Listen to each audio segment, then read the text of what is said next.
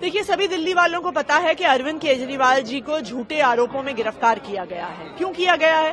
क्योंकि अरविंद केजरीवाल वो शख्स हैं जो दिल्ली वालों को फ्री बिजली, फ्री पानी, अच्छे स्कूल, अच्छे अस्पताल, मोहल्ला क्लिनिक देते हैं।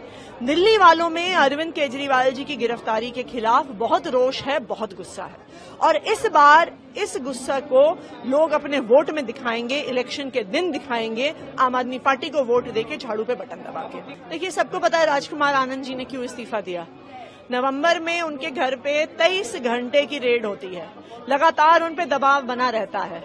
और आखिरकार वो एक लिखे लिखा स्क्रिप्ट से कुछ पढ़ के सुनाते हैं। राजकुमार आनंद जी के साथ हमारी सहानुभूति है। बहुत दबाव में गए हैं वो। ईडी का दबाव था उन पर। हर व्यक्ति मनीष सिसोदिया नहीं हो सकता। हर व्यक्ति संजय सिंह नहीं हो सकता। हर व्यक्ति सत्येंद्र जैन नहीं हो सकता।